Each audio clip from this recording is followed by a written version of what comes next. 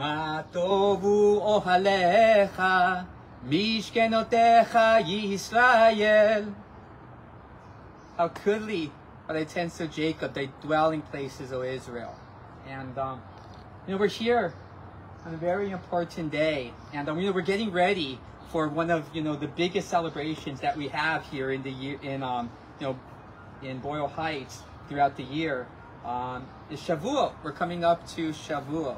Um, or, or as it's called, Pentecost. It's, you know, 50 days, you know, after, you know, Passover. We have, um, a holiday in which we accept the receiving of the Torah, receiving of the Torah um, at, at Mount Sinai. And oftentimes that day is used also for a community to symbolically receive the Torah into their lives. And um, when we started, um, you know, with the Chavurat and we started, you know, the museum and all of that, um, we actually inaugurated all of that work on Shavuot to symbolize the receiving of uh, the Torah, the Torah, and um, also to stand in legacy with this building, um, which this grand building that we have behind us, Congregation Talmud Torah, the Breed Street Shul, um, it was inaugurated in 1923 on this day in the Gregorian calendar, um, which happens to coincide with Shavuot of the year 1923. Um, and so um, this community received in this grand manner with the opening of the larger building of the Breed Street Shul. Um, 100 years ago today, um, the community opened up the Queen of the Shuls, and uh, here she is.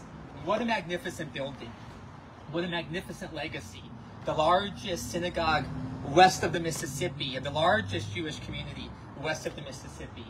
Um, even though there was over 30 synagogues in the neighborhood, this was the big one. This was this this was the one that really was the queen of the shuls. Any rabbi that was here was automatically the chief rabbi of you know, Los Angeles just by nature. And um, you know we had some great rabbis you know that came through here. Um, and um, you know we you, know, you can read about that history you know right here you know at the Angels Walk. You know we have um, all of that history which you know I was also part of writing. You know in order for people to understand what the history of this is and um, just the deep rootedness and connections that people feel towards this place and how much it has played in the role, especially of Orthodox Judaism within Los Angeles, um, which um, you know all my education I benefit from, um, why I'm able to serve the Jewish community in the capacity that I do today is because so much that was um, handed down to me from a Jewish community. But almost everyone who you know really taught me had a connection somewhere in their family line back to this shul and um, and so, but it is uh, it is amazing that um, you know it's lasted this long. You know, hundred years on after surviving earthquakes, um, after you know surviving all of the different types of disasters that kind of um, fell upon you know not just the Jewish community, but you know the greater community within this neighborhood. The Red Scare, the freeways, and everything that came through. All of these things that would um, just be, you know, kind of death blows um, to a community. Believe it or not, the Jewish story didn't stop there. It still continued. Let me put this in context. This building was inaugurated in 1923, and for about a third of a century, it operated as the most important Jewish site in Los Angeles. And then there was another third of a century um, that um, it was basically in decline as the Jewish community was starting to take its root and its place on the west side and throughout the San Fernando Valley and it moved beyond here.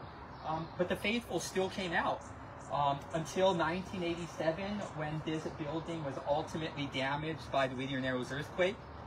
Um, you know, this was still a place where people came and um, were praying on the three days of the week in which you would have Torah services. And um, so, you know, it was still a place of life um, until you know ultimately it was red tagged because of an earthquake, a non-reinforced brick building. Um, you know there was a fear that you know it would fall down, and so it's been red tagged since 1987.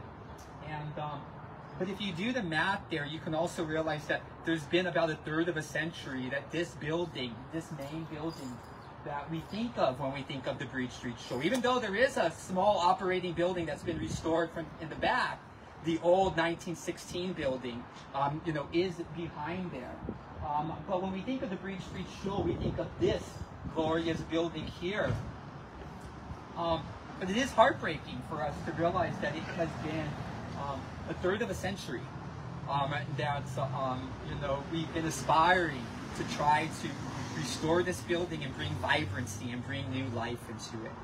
And um, but you know I uh, I still haven't given up hope that we can actually accomplish this. Um, you know, unfortunately, there's um, you know there's many reasons, and we're going to have to have honest conversations in the months to come about why it's been a third of a century that we've been trying to accomplish this.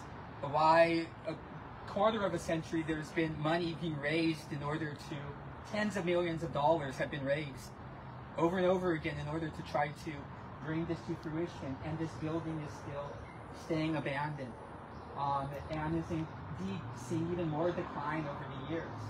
Um, and you know, it's um, you know, it's sad. You know, it's really, really sad because I think a, a lot of us, you know, we just get heartbroken and when we come by this building that we love that stands in for a history that we love and that we think that needs to be respected. You know, quite frankly, it being left in this condition is a Hilul Hashem. It's a desecration of the name of God. You know, um, you know leaving it in this condition, it, it's heartbreaking and it's demoralizing. Um, and, you know, to the Jewish community that's still here. Yeah, there are still Jewish people here. Um, despite the rumors, otherwise, there are still Jewish people that are operating here in this community that are still holding Shabbat services, that are still holding, you know, um, you know our, our holiday services, that are still doing the social justice work within this community. The Jewish story of Boyle Heights, East Los Angeles is not dead. There, as a matter of fact, we're growing. Now, since COVID has ended and we started opening up to doing regular programming again, how did we open up again? Started with baby namings. that means that we're growing. We have a natural growth of a Jewish community um, here within this community. The story's not done. Um, but I would like to see this building ultimately restored, and I know we can redo it. You know how I know we can redo it? Because the oldest synagogue in Los Angeles, which is, you know, the original Sinai congregation, now we know it as Sinai Temple. The original, the old, the, the original location of that congregation, now known as the Pico Union Project, you know, that building dates back to 1908 in a community that has like no Jewish people living within it. Um, however, it's become one of the central, central hubs of um, Jewish culture um, but also of social justice action, being able to use the space in order to feed thousands of people every week, in order to offer resources um, to the people with all the needs that they have when it comes to health care, when it comes to, um, you know, um, workers' rights, when it comes to everything that they need, you know.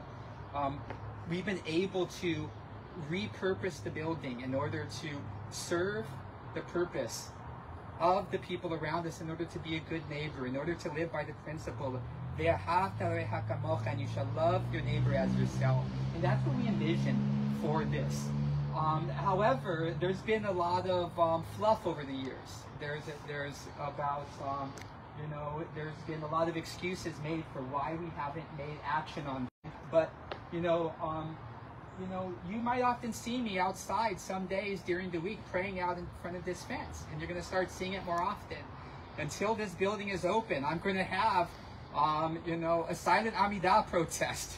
you're going to see me out here with Tefillin and Talit praying in front of this building on the days when there are Torah services in order to make, in order to make it known that we still care for this building, that the Jewish people are still here, and that we still have aspirations of fulfilling our promise to this community in order to make this an active community center that is going to serve the needs of the community while reviving the heritage, the long heritage that Jewish people have of doing social justice work um, within this community. And, um, you know, we, as I stand here in front of you, I just have to thank God that it's still standing. You know, I, um, know, there's so many buildings, so many historic buildings that have been burnt down.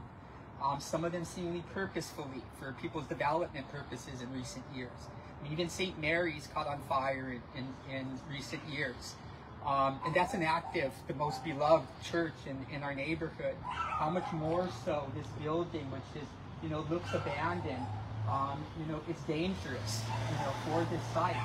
um, until we actually, you know, start occupying this site with actual, you know, with some real action, with some real programming here, until these fences are brought down, inter- interesting enough, this building is not safe. The only way that we can preserve this building is by making it alive again. And so, but I have to thank God that 100 years on, this building is still here. Even though earthquakes and everything have challenged it, is still here. And um, we still have hope for the future. But, you know, even though my heart's kind of broken seeing that, you know, it's even in worse condition than it's been in many years, to see that just recently they put up signs that said, right over here, this property closed to the public, no entry, without permission. Um, it kind of tells you something about the status of this site and um, just how, um, you know, really abandoned it is, how much it really is neglected. Um, and, um, you know, I really, really, really um, hope that we are able to ultimately, ultimately able to bring life to this building. But, you know, on the heart level, I'm just grateful that she's still here for now, that we still have, you know, tomorrow and, and hopefully the day after that in order to be able to, and the day after that, in order to intentionally, um, you know, direct our hearts at trying to do everything that we can in order to restore the pride, in order to restore a symbol of faith, in order to restore a symbol of social justice to this community. Um, so, you know, even though the holiday hasn't started, I am grateful that, you know, God has at least, you know, allowed this building to, you know, live this long. So we have one blessing to say.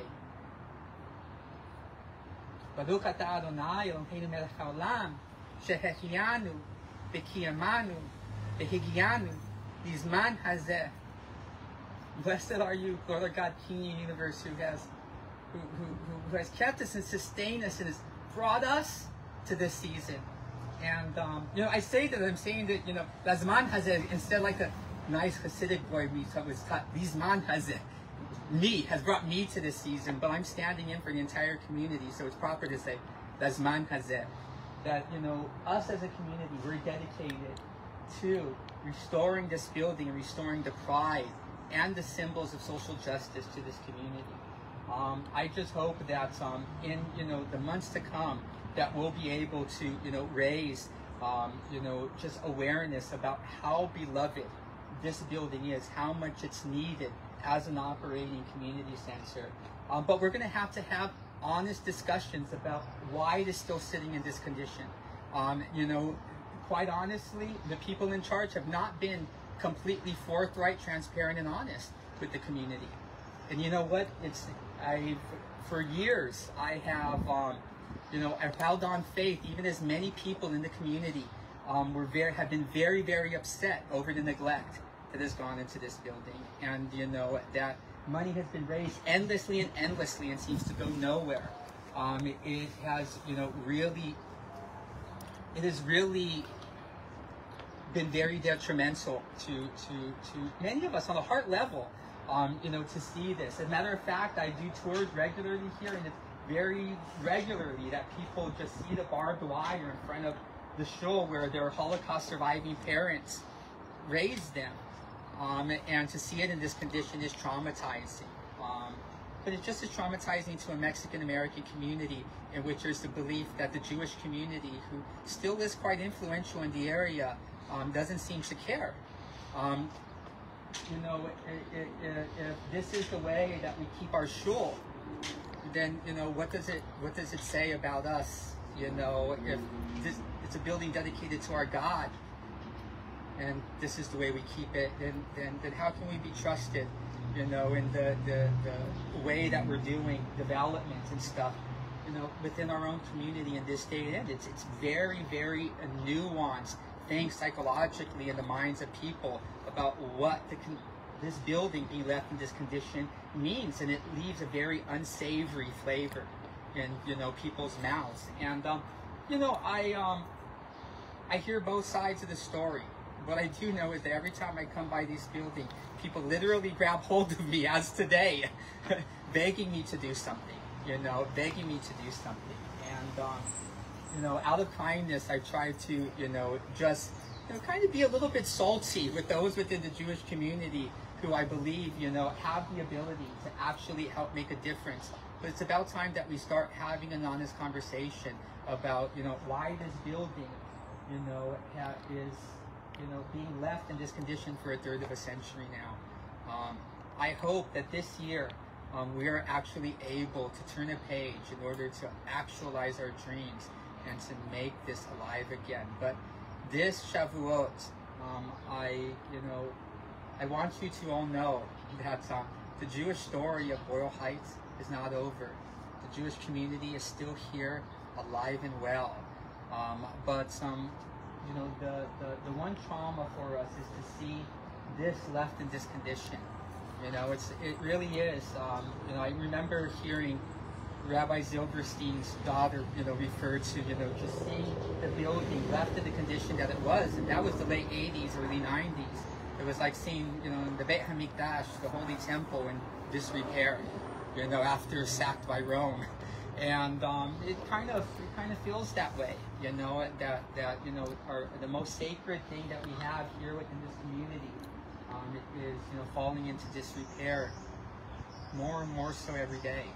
And um, but I hope that in this next year we'll finally be able to get over our, our own personal insecurities, our own personal self-interest and work together in order to ultimately accomplish what we promised as a Jewish community, and that is to make this an active Jewish community center for the community. So, um, any of you who want to come out and daven with me in front of this building, you'll see me out here with talis and tefillin during, you know, during this, you know, during the week. Message me, join me, but also, um, you know, anyone who will listen, um, you know, share with them how important this building is, and do whatever you can to try to contribute in ways that will intentionally, um, with intention, bakavana, make this an actual working community center as we had promised. Um, I hope this year it'll happen. And so um, I'm going to wish you all a you know a happy holiday, good Yantif to all of you, and Hag. Um, and um, you know as you um, you know enjoy you know your Shavuot celebrations, think of us out here in Boyle Heights, East Los Angeles, the Boyle Heights Chavurah, and all the people of the, the Jewish East Side who um, you know still um, just like to come out here as the sun's about to set in order to take in just the glory um, of, of this beautiful building that stands in for such a, a, a phenomenal history that needs to continue to be shared. And um, so, Hag Sameach, Yantif to everyone. Gesund.